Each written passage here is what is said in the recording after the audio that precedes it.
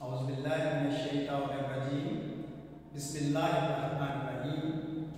अज़ीज़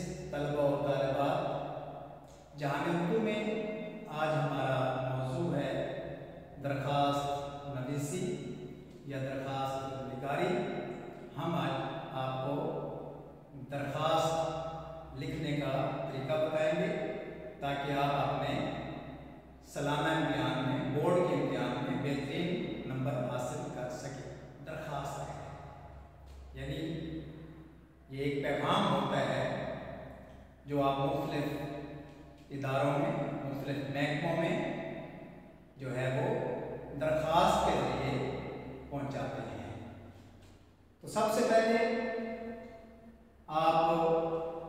जिस महकमे के नाम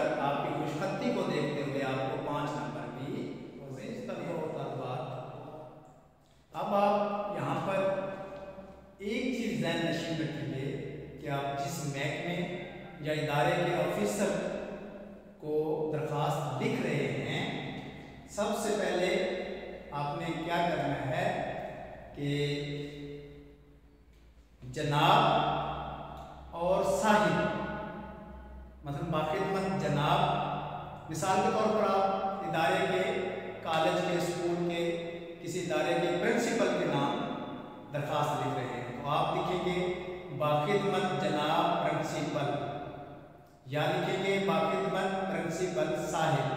तो ये बात जहन में रखें कि जनाब और साहिब में से एक लफ्ज़, एक चीज़ का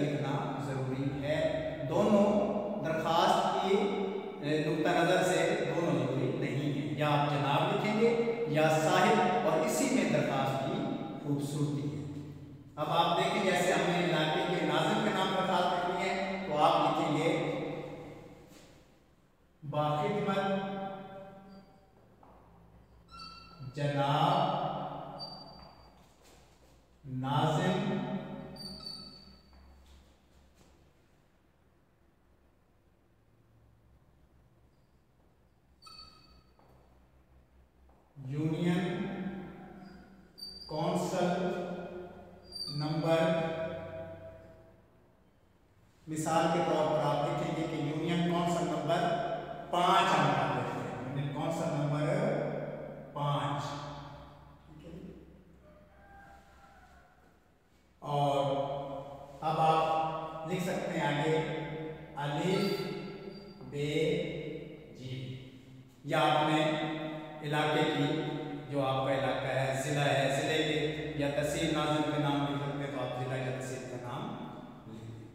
अब जो ज़रूरी है वो है उन्वान, यानी दरखास्त का उन्वान क्या है?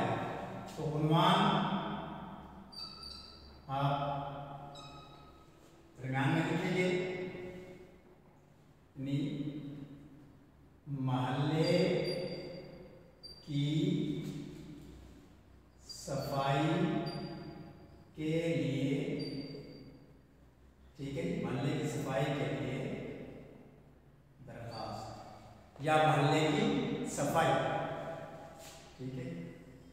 इनका क्या है? मोहल्ले की सफ़ाई। अब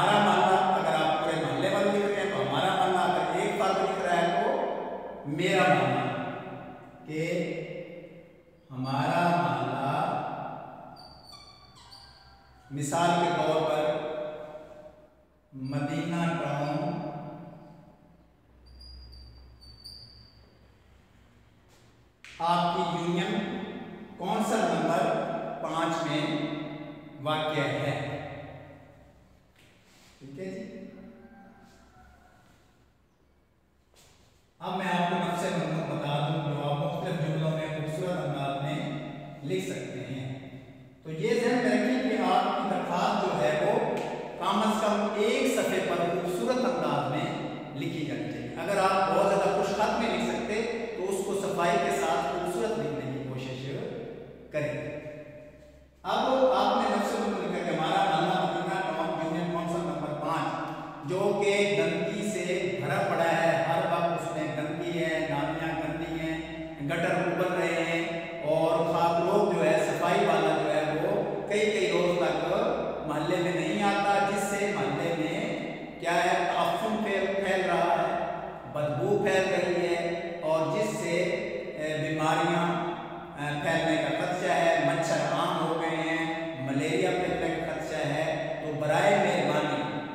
ठीक है अब आपने एक पूरा अक्षर को लिख लिया। अब आप लिखेंगे, यानी बराए है तो ये लिखना आपने, बराए।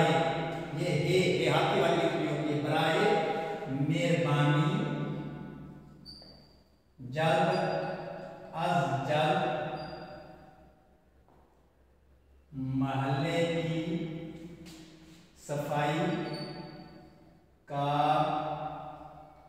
बंदोबस्त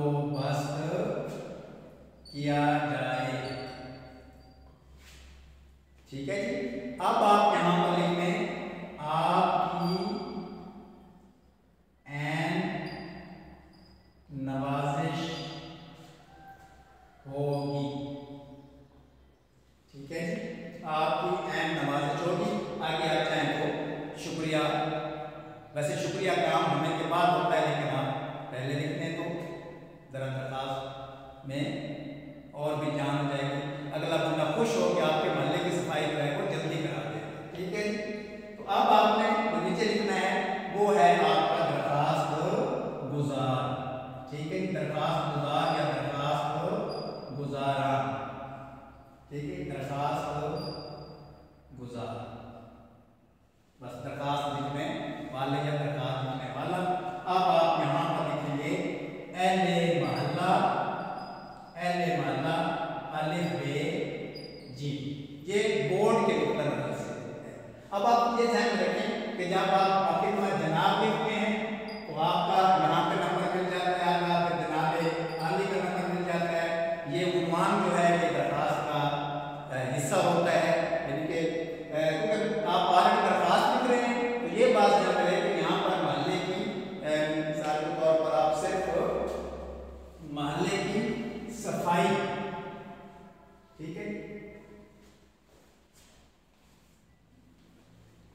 महल्ले की सफ़ाई में देंगे तो आपको अनुमान हो जाएगा। उसके बाद आपका जनाबे आदि है। यहाँ पर हमें मिल जाता है। फिर आप दरखात गुजार का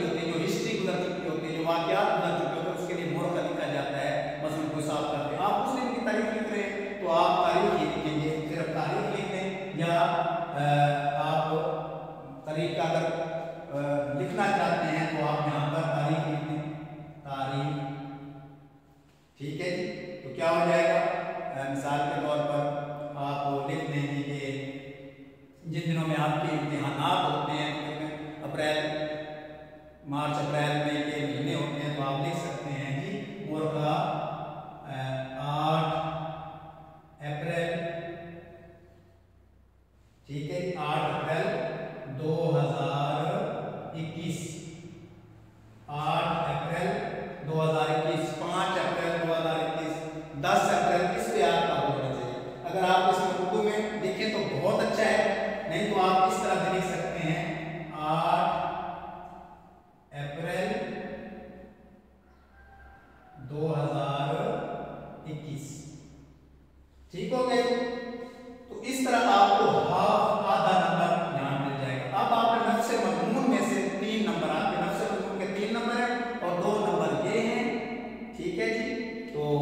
minister